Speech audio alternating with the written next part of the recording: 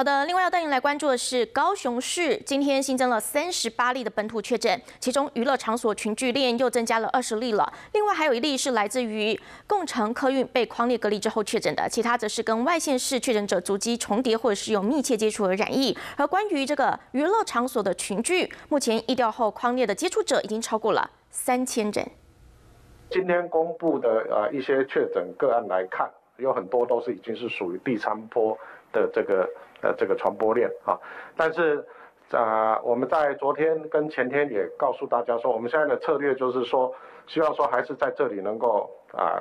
把它啊做用扩大筛检的这个方式来避免这些个案外溢到社区里面。好，所以我想啊，从啊昨天跟今天筛检的。啊，特定的这个营业场所看起来，哦，这个数目其实增加的数量不多，哦，也就是说，我们希望说能够加快这个脚步，哦，能够把这几家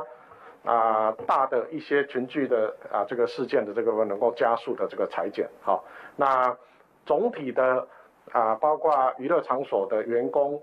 啊，裁剪的数啊，这个比例啊，已已经超过七成哦。那我们希望说，也希望大家能够啊配合哦，能够尽速的啊来裁剪。高雄市的娱乐传播链包括了雅阁、金巴黎、地堡、大帝国等等，新增了十六例，其他娱乐场所相关则有四例。因此，市长陈其迈再一次强调了，针对娱乐场所等高风险区域，会持续来扩大裁剪的。而全体员工在四月十五号开始，必须有 PCR 阴性的证明才可以上班。